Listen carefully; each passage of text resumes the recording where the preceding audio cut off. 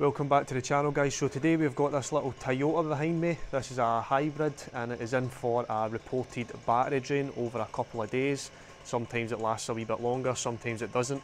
It has had a new battery fitted from Toyota so we know it's got a good battery. So we are just doing a parasitic draw test at the minute to see what the reading is. So we'll leave it for another 15-20 minutes the noise behind me is going to be quite annoying, so it's a wee bit noisy behind me, so hopefully the mic can take all that noise out. But we have let the car sat for about 15-20 minutes now, so we're going to let it sit for another 15 and see what the current draw is of the battery. So if I zoom in, right now we are currently sitting at 240 milliamps and that is our battery connected in series with the earth terminal.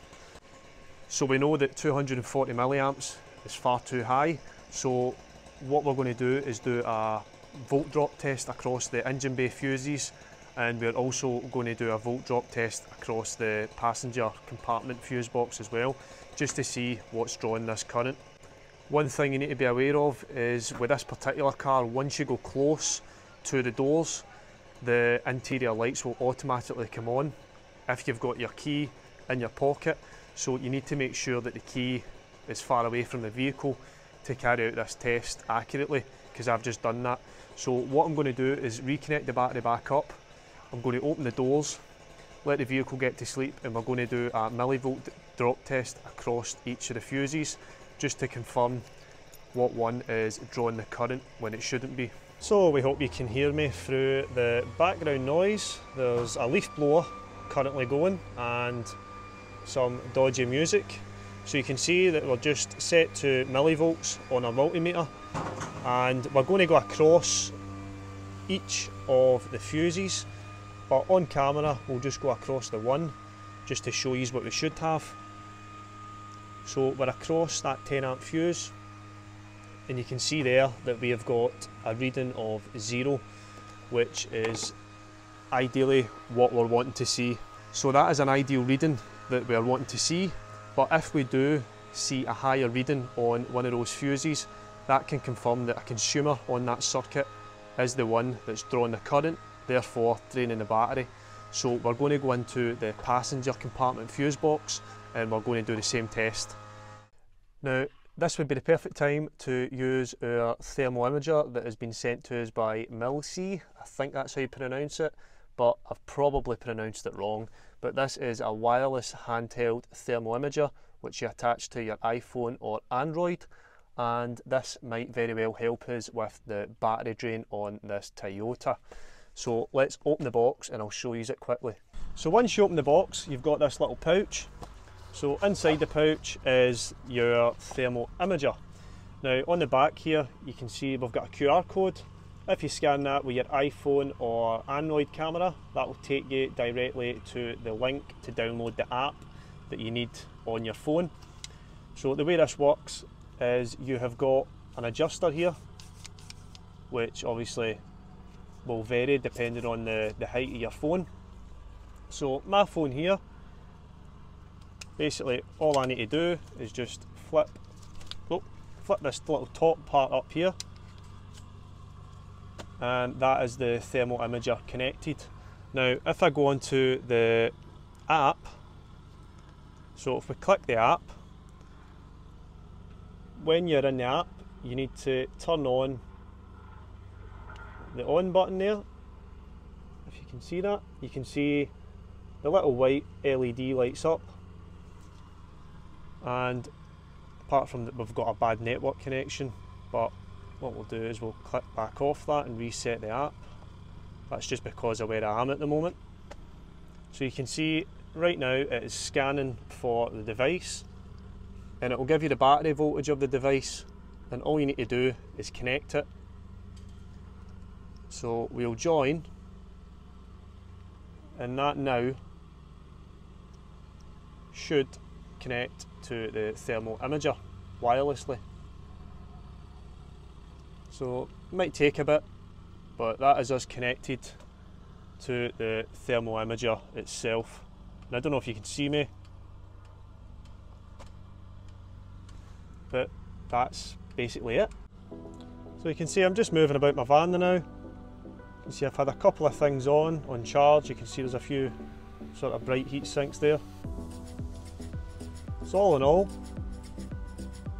seems to be a good little tool that you can buy for your phone.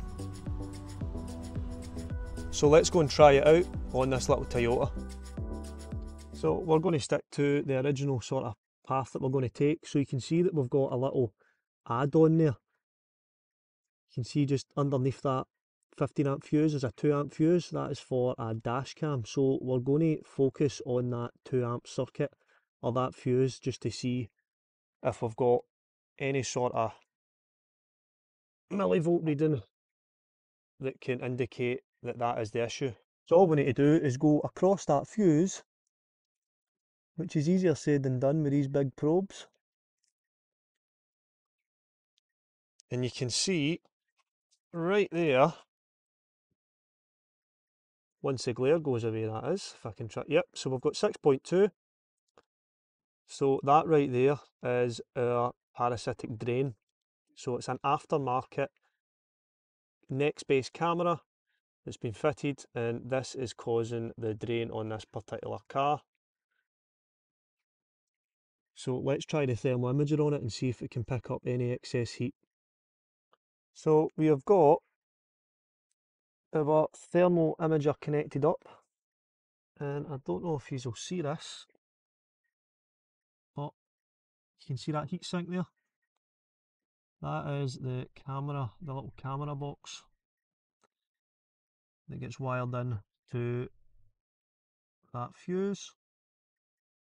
So we've got a massive, massive heat there, which is obviously the cause of our drain. So what we can also do is take a picture. So if we just click on picture button there, and that will take us onto a photo album and that is a picture for the customer in case he asks for any proof. So you can see that a little thermal imager there picked up that heat spot no problem. So the backstory with this car is it was jump started reverse polarity and it ended up having to get recovered to Toyota in order to get resolved for the no start condition. Obviously um, it had blown a couple of fuses and stuff like that, and it ended up having to get, I think, a fuse box. I think that's what the customer said. So Toyota did sort that side of things, but the likely chances of that little box being spiked at the same time is pretty high. So what we're going to do is we're going to remove that fuse and we're going to carry out another parasitic draw test just to confirm we haven't got any other drains coming from any other consumers on the car.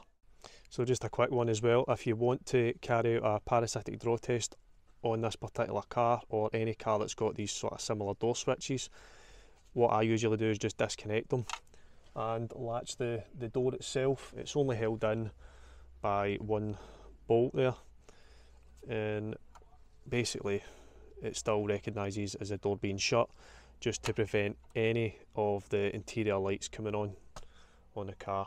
So let's get this fuse removed and we'll get our multimeter set up again to see what our reading is now. So what we're going to do now is just connect our multimeter back up in series. So if we set our multimeter to amps and we will remove the battery terminal and just connect in series and let's see how quickly this car settles down.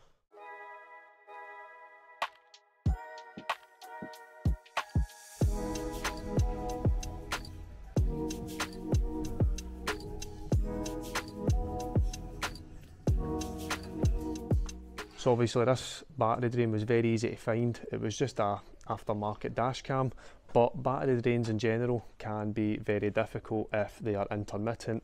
So we typically like to come to a battery drain when it is always happening.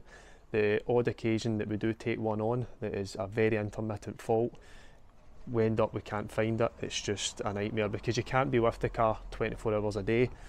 So battery drains in general they're okay some of them can be a nightmare So it's now been about 20 minutes and we've let the car go to sleep and the good news is we have got a current draw now of 10 slash 20 milliamps which is well within spec and won't drain this car anymore. So the tool that we used in this car, the little thermal imager, that'll be left in the description if you're wanting to go and have a look at that. All the links will be left there. So thanks for watching and I'll see you on the next one.